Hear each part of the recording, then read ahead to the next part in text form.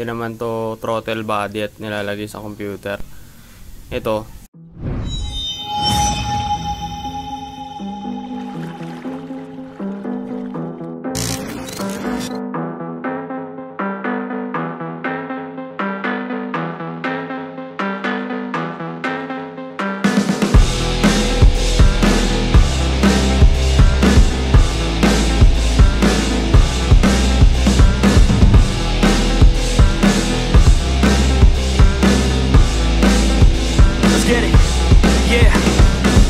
Suck it up like.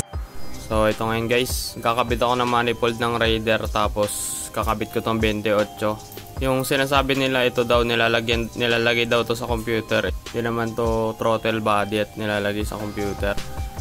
Ito, kaya purpose nitong Raider na to, merong vacuum line yan dito. Dito yan papunta. Tapos ito yung mag-aayos ng minor mo para umayos yung tono ng motor mo. Madali mo siyang tonuhan. Ngayon pag pinatay mo tong linya na to, mahirap mo hanapin yung tono ng minor.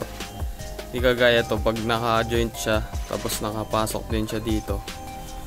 Madali mo hanapin yung tono niya. Makakapa mo agad dito pag tinono mo siya dito. Mapapakaramdaman mo. Tapos makikita mo agad kung ano lean or rich yung ano sunog niya sa ano spark plug. Ganun lang siya kadali.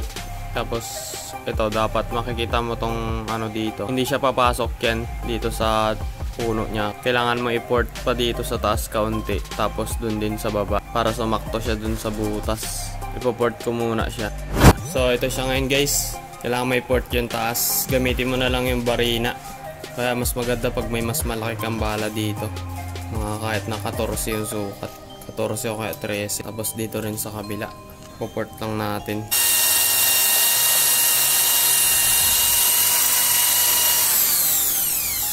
Ganito lang pag pinuport nyo, i-gilid-gilid nyo lang yung barina para mawalwal yung butas. Isubok natin siya kung lalapat. Yan, naisalpak ko na. Papakita ko na lang sa inyo kung paano ilalagay itong hose dun.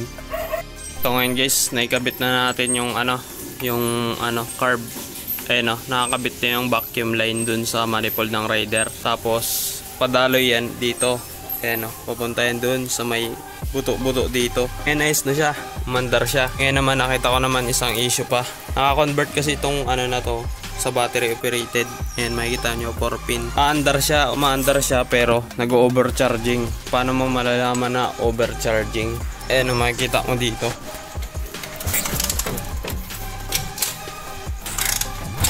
Ayan. Ang lakas ng ilaw. Tapos, ayan, oh. hindi makakalkila ng hindi makakompute nung ano yung voltahe niya. Tapos mamamatay siya. Sobrang lakas ng charger. Ito, pwede itong gamitin sa mga naka-primary coil. Naka-fast charging pala to. Papalitan natin siya ng may buhay na ano, linya ng limiter voltage na hanggang 13 volts lang.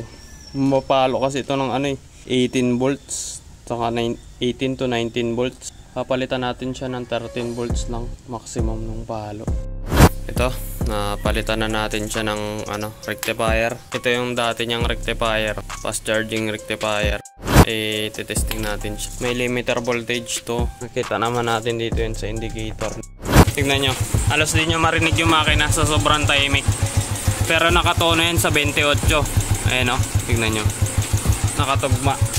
Tig ang ganda ng minor kapag nakakabit yung vacuum line niya. Itong vacuum line na to. Pag hindi yan nakakabit, mahirap mo matonohan yan. Kahit na anong gawin mo hindi mo matotonohan yan. Yan. Okay na siya. Wala nang palya. Wala siyang kapalya palya hindi sumusuga. Stock lang to. 125cc lang. 125cc nakatono sa 28